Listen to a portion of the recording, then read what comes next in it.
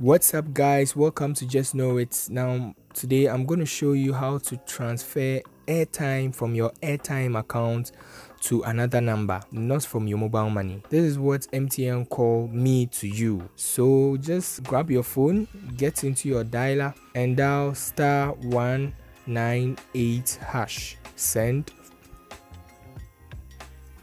now if you are doing this for the first time you would have to activate okay? So what you have to do is to enter the option one which says activate.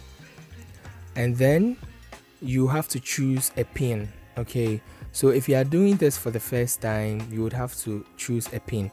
Now i'm not going to choose a pin here because i've already registered for mtn me to you. Once you have activated it i'm going to show you how to transfer airtime to another number. So you just dial star 198 hash you enter. And then you are going to go to option 2 which says transfer. And you have to enter the number so i'm going to transfer to this number.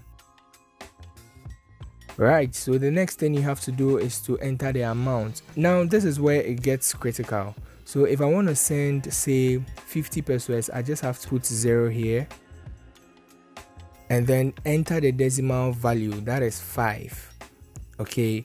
But if i wanted to transfer one cedi where the amount came the step before this very step i'll just put one cedi there and come and put zero on the decimal value.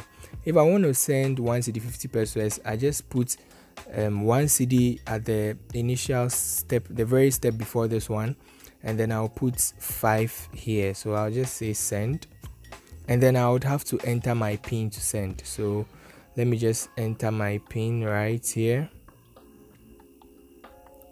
And then I would have to confirm the transfer of 50 pesos.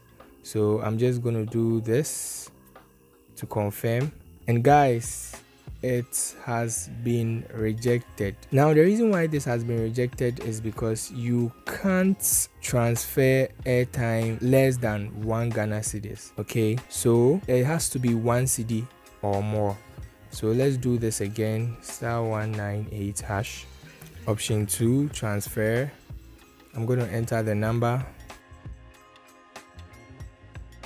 All right i have to enter the amount say one cedi decimal value i'm going to put zero here and i'll have to enter my pin and then i'll confirm this.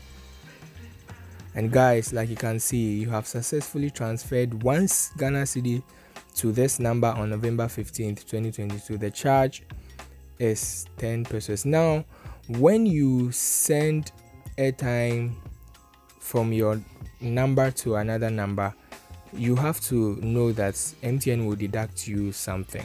So if I send one cedi, they they they deduct 10 pesos. So if I send two cedis, they are going to deduct 20 pesos, and then it will follow in that order. All right, that's all I had for you today. If you enjoyed this video, I welcome you to subscribe to this channel. Just hit this little button here. It takes less than one second. Come on, go ahead and try.